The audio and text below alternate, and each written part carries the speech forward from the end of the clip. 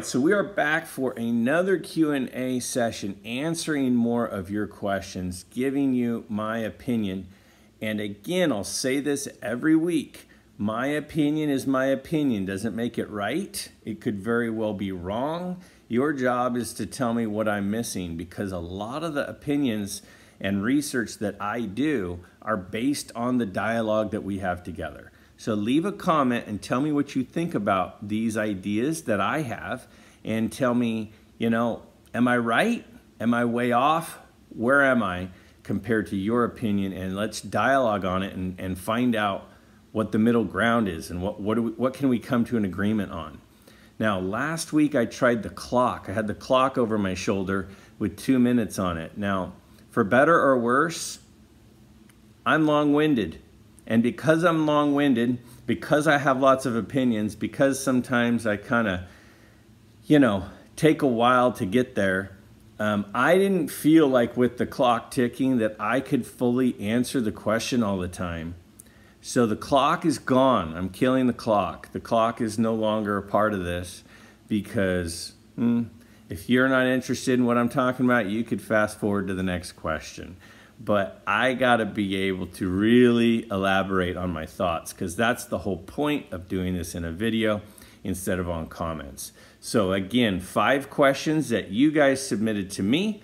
We'll go ahead and start with question number one right now.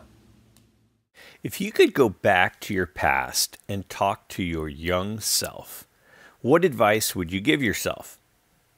Would you change any of your collecting habits and what were they? All right, now that's a really good question. Now, the first thing I would say is I'm assuming we're talking about me as a collector, right? Not uh, what would I change about my past with everything involved. But if we're talking about collecting, um, you know, I was one of those weird kids. I bought a 61 Eddie Mathews at a card show when I was like nine.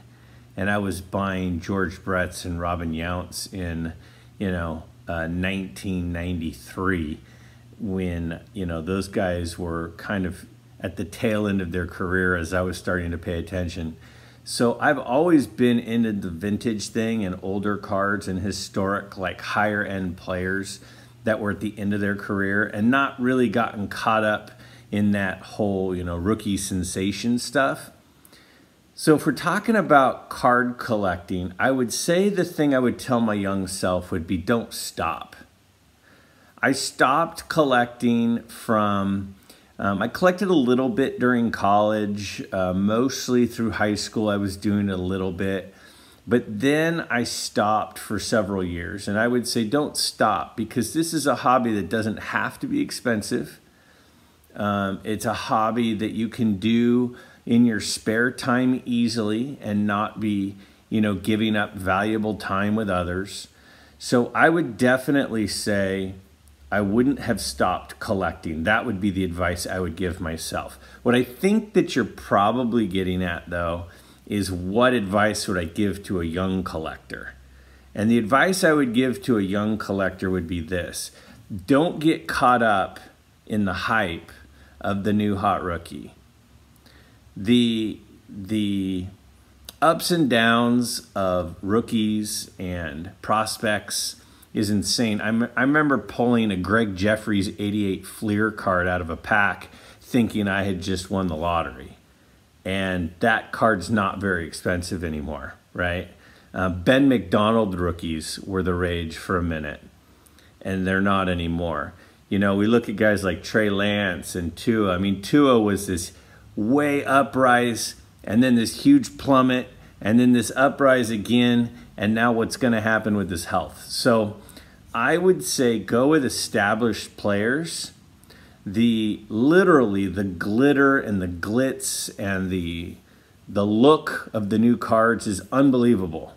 It's like looking at I mean they're they're incredible. But I don't see long-term value in them. I was literally at a card show and I'm going long on this one, but I have to tell this story. I, I was at a card show the other day and this kid was negotiating with a dealer and he said, "Hey, would you take 15 on that um, the Ant Man card. And I'm like, 15 for Anthony? I, what are we talking about? And he goes, no, I'm at 16.5. And I'm like, is he talking about $16.50? This kid was like 10. And he goes, the kid goes, no, the best I could do would be 15 on it. And I'm like, they're talking about $1,500 for this out of 25 auto card. And my mind, like like my head was gonna explode. First of all, that there's this kid who's 10 walking around with $1,500 to spend on cards. Number two, that he would want to spend $1,500 in cards on that. I mean, he could go buy a Cy Young card. He could go buy, you know, a rookie Harmon Killebrew and Reggie Jackson and Rickey Henderson. I mean, there's so many ways that you could spend $1,500. And we don't even know if these prospects are going to be around in a couple of years. So my advice would be there's a huge demand for prospects now. But will there be a huge demand for those guys in a few years? It is literally playing a slot machine. It is literally pulling the lever on a $50 slot machine versus putting it into the S&P 500. Vintage is the S&P 500 and buying you know the Obi Toppin cards or the Ant-Man cards or the Tua or the Trey Lance cards are, are literally pulling a slot machine. So my advice to a young person would be go with the proven thing, go with the established card, not with the the risk. It's not worth it. What are your views on sports card autographs? Like them? Collect them? Does it take away some of the appeal of a vintage card? So I I really like sports card autographs. I, I'm really into them, both in person on an older card or the cards that come out now that are signed by the players and you know verified by and certified by Panini or Topps or whoever. I have a pretty big autograph collection. I'm a through the mail guy. I've been doing through the mail for a long time. And you know, a lot of people have asked me, "Hey, share some more of your collection. We want to see what you collect." And I'm like, "Eh, why would anybody want to see what I've got?" You know, and occasionally I'll show some stuff. So I'm going to use this opportunity to answer that question. Big on autos. Um, I'm big on current autos, old autos. So I'm going to show you some. Arnold Palmer. Got that at a uh, senior PGA event when I was about 12. Juan Marichal. Juan Marichal, that was free through the mail. Actually, I think he charged 10 bucks. Willie McCovey. Willie McCovey, I got at a mall show with my dad when I was about nine. When I was a kid, I was doing through the mail autographs. Got Mike Schmidt through the mail as a kid. Recently, Lee Trevino signs through the mail for free. Lee Trevino autograph. Tom Watson signs through the mail. So I got a Tom Watson autograph. Um, I've gotten other guys, Goose Gossage, Ryne Sandberg on his rookie card, Wade Boggs on his rookie card, Mike Mussina on his rookie card. Jose Canseco, that was the Grail card as a kid. He even put 40-40 on it. Dan Fouts. Mario Andretti. Richard Petty. John McEnroe. And then, oh, one more. Robert Parish. Now, those are the on cards that are, you know, older cards that I then had signed. But I also like a lot the cards that are coming out in packs, the insert cards that have autographs. I have this Ozzie Smith. I've always liked Ozzie Smith. I was a middle infielder as a kid, so I always looked up to him. We went to the same college at Cal Poly, so I'm a big Ozzie Smith guy. Bill Walton. And these are so affordable, it's unbelievable. In fact, I'm bidding Right now, Hakeem Olajuwon. I'm bidding right now on a um, Bob Gibson. You can buy a Bob Gibson autograph for like $40. Bob Gibson, one of the best pitchers of all time. I don't understand. Jerry West is one of my favorites. This is in a video negotiating to buy that one. Oscar Robertson, you know, one of the best who ever played. And then probably the prettiest one, Dr. J. Look how cool that autograph is in the gold. So yeah, I'm big into autographs. I'm big into the autograph inserts, but I'm not big into, you know, Trey Lance. And I'm and I'm uh, why do I keep saying Trey Lance? Well, I'm a 49er fan, so there's all the Trey Lance talk all the time. I'm not into the prospect guys. I'm not into even though there are some really good players. Pat Mahomes is awesome. You know, Joe Burrow is awesome. Those don't excite me as much as the kind of legendary guys that have the insert card. So, yes, I like them. I think that they have value potential, but quite frankly, I'm not buying these to potentially sell. I'm buying these because I like collecting them for me. What is your least favorite card design of all time? And what is your favorite card design of all time? All right, least favorite card design ever. I think I have to go. There were some bad ones in the early 90s. Probably the 91 Fleer. Pretty sure it was the 91 Fleer with the yellow border.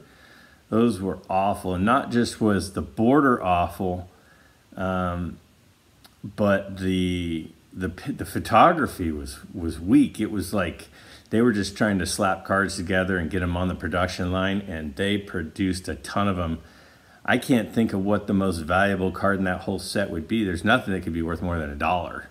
Um, those were awful, absolutely awful. My favorite card design ever is a really, really tough one. Um, I like a lot of the sets in the 50s. I love the 54s. I love the 52s. Um, but I think I have to go the 55. Um, and I'm going to show you a few over my shoulder here. But yeah, I mean, you got Killebrews rookie that year, Sandy Koufax rookie, Roberto Clemente rookie. You've got, but the I like how it's got the landscape, how they're horizontal. I like how it's got the action thing in the background, but a nice close up. Really legendary, iconic card of uh, Jackie Robinson in that set, an awesome Ted Williams in that set. There's a lot of really, really good cards the only downfall with that set is that there are some missing players, right? Um, you know, there's there's no Stan Musial, there's no Mickey Mantle. Um, so that would be the issue. But as far as the design goes and the actual look of the cards, with that colored background, I mean, another one that pops into my head that's a really cool looking one is the Ernie Banks. So I would say those cards I like the look of and the style of the best out of anyone out of any. Um, and I know a lot of people don't like the landscape. They don't like the sideways card, but I like them. 55, 56, 60. Those, those to me are really cool cards. So, uh, yeah, 91 Fleer is bad. 55 Topps is probably number one. I hope you'll consider subscribing to my channel. Do you think SGC will eventually pass PSA values, as it is pretty much common knowledge that they are more consistent in their grades, quicker turnaround times, and customer service, etc. So it seems like consistently we're all interested in the whole grading thing. And I know a lot of the people who subscribe and watch my channel specifically are vintage collectors. And so um, and there are a lot of vintage cards in SGC holders. So I understand that a lot of us have a lot of hopes that SGC values will catch up and pass PSA. Um, again, I have some SGC cards. Most of my cards are in PSA holders. I have submitted to both. I think both companies have a lot of pros and cons. I've done a lot of videos of comparing the values of the two. And if you've not checked those out, I hope that you will consider checking those out. What I have found based on my research and based on looking at numbers and crunching numbers and putting numbers of sales into spreadsheets and analyzing it is that on the lower end cards, that as far as the lower end grade, the ones, the twos, the threes, the fours, it doesn't seem to have that much difference in value from SGC to PSA. But when you get into the premium cards, uh, the grades of seven, eight, nine in cards, the vintage card market, it does seem no doubt about it that the PSA cards have substantially higher value. So will SGC catch PSA? Again, I think they can. I think it's possible, but I think it's going to be very difficult. And the reason it's going to be very difficult is because of the number of eights and nines and sevens that are already in PSA holders. And I had somebody reach out to me a week or two ago and they said, What are you talking about? The most expensive card that's ever sold was the 9.5 SGC Mantle. That's the most expensive card that's ever been had a transaction recorded on it and that's an NSGC holder. So how can you say the PSA cards are more expensive?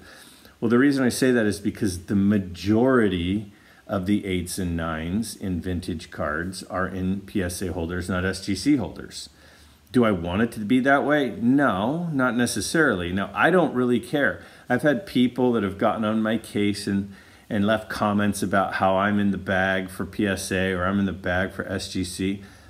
I'm not. Um, people have accused me, well, you're just supporting SGC because they're paying you. I can tell you for a fact, I've not gotten a dime from SGC. I'd love to get a dime from SGC. If they want to hire me to consult with them, I'm all, I mean, hey, email me. I'm interested. But that's not happened. So I just give my opinion based on my opinion and things that I think would be helpful. I do think SGC could catch PSA. It's not a short term uh, possibility, but I do think it could become a long term possibility. How could it happen? I really feel for that to happen a lot of people would have to start moving their stuff from PSA holders to SGC holders. when I go to a show and I look in a case and there are graded cards, and in vintage cases, 80% of them are in PSA holders. If 80% of them were in SGC holders, then I think that that would, that would show that SGC is the preferred company. Uh, as far as the turnaround time, SGC is killing PSA. Costs, they're kind of close. Customer service, SGC is killing PSA. Marketing, I think SGC is killing PSA. Every time I turn around, I see the CEO of SGC on another, you know, blog, on another website, on another interview, on another YouTube channel. Um, but I've never seen anybody from PSA. PSA had a huge lead. P- uh, SGC is catching up. PSA has been living off of their huge lead, and I don't think they've been very creative with their actions. And I, in a lot of ways, hope SGC uh, catches up and passes them. Whether they will or not will depend on the actions and the moves that they make. I think a really cheap cost to take PSA slabs and cross them over into SGC would help them a lot. I think continuing the quick turnaround time, I think expanding, creating, and actually establishing their set registry and really putting money into it, putting, making a really good app that uh, similar to what PSA's app has would do a lot. Um, but I agree that SGC is more consistent, they're faster, they're pretty much more affordable. The one place they're lagging is on value. And so they have to find a way uh, to get everybody to be anti PSA. So um, I don't know. They're going to have to get creative with marketing. It could happen. I don't expect it to happen soon, though. So we'll see how that pans out. I'm going to continue to monitor it. I'll continue to post videos if I see changes in it. But in the in the meantime, PSA is still ahead as far as values go. What's your take on Venezuelan and O-Pee-Chee vintage 60s baseball cards? Okay, so my take on O-Pee-Chee and Venezuelan cards. Now, I did that video recently on supply and demand, and if you watched it, um, and I hope that you did, if you haven't, look up the supply and demand video. Um, the title is about, you know, predicting the price of cards and the value of cards, and you can find that out using supply and demand. One of the main points of that is, you know, if the supply of any card is low, it has a much better chance of high, having a higher value. And, you know, there are years that they had the O-Pee-Chees. They did them a lot in the 80s. Um, you know, a lot of the hockey cards, like the, the Grail Gretzky is an O-Pee-Chee in, instead of the Topps. But I, I think, what was it, the uh, 71 Topps uh, has an O-Pee-Chee set. There's a lot of them out there the Venezuelans, a lot of those are earlier. Um, so the, as far as what do I think of them, I think the supply is significantly lower. Um, but then for the value to be significantly higher, there would also have to be the same amount of demand or a higher, you know, equal or higher demand as well. Um, and I don't know how much demand there is for those. I don't look and go, oh, I got to pick up some Venezuelan cards. But when you see them, you're kind of like, oh, that's cool. That's different. I know there are some people that are really into them. I know that there are some people who really enjoy collecting rare stuff. And I'm not really into rare as much as I'm into stuff I like. So if I was an investor, if I was somebody who was buying cards that were hopefully going to go up in value, I think those have a, a pretty good chance of going up in value just because of how rare they are. But if we're talking about collectability, to me, um, I don't go, oh, this one's an O-Pee-Chee and this one's a top. So I want, I don't like look out for those sorts of things. So I don't seek rarer things or um, unusual things that you don't see very often. I just seek what I like when I look at it. And so the things that I look at and go, that's cool. I like the look of that. I want to have that. That's what I seek personally. But I do think O-Pee-Chee and Venezuela cards have have some have some upside if enough people stay interested in picking them up because of their rarity. All right, let me know your questions for our next episode.